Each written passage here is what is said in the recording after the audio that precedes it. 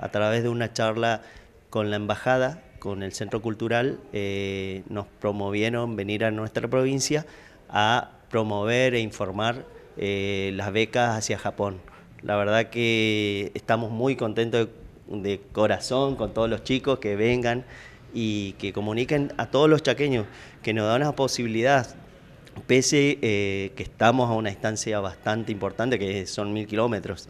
Bien, el gobierno de Japón ofrece posibilidades de hacer la carrera universitaria completa, tecnicaturas y eh, también la posibilidad de hacer posgrados, es decir, especializarse en un área e investigar dentro de las universidades japonesas.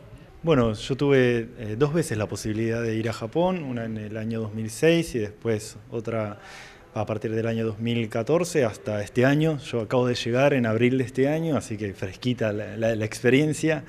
Eh, bueno, yo fui a hacer un máster en lingüística y literatura japonesa y bueno, eh, es una experiencia magnífica poder vivir de una cultura tan distinta a la nuestra, geográficamente tan separada de nosotros, con una idiosincrasia completamente distinta es una experiencia completamente enriquecedora.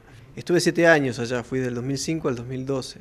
Este, bueno, y la idea de la charla esta tarde es justamente comentarles sobre mi experiencia y un poquito las ideas que tengo yo de la cultura. Yo soy correntino, así que fue el digamos, el golpe cultural fue bastante grande Primero que tenemos estas posibilidades de beca que son increíbles, la verdad, este, y esta oportunidad ahora de este, llegar hasta acá y mostrárselos a los chicos, porque bueno, muchos por ahí no, yo las recibí siendo correntino porque vivía en Buenos Aires en el momento que apliqué, pero ahora está la chance de informarles a los chicos directamente en su provincia y esto este, calculo que va a ser muy enriquecedor.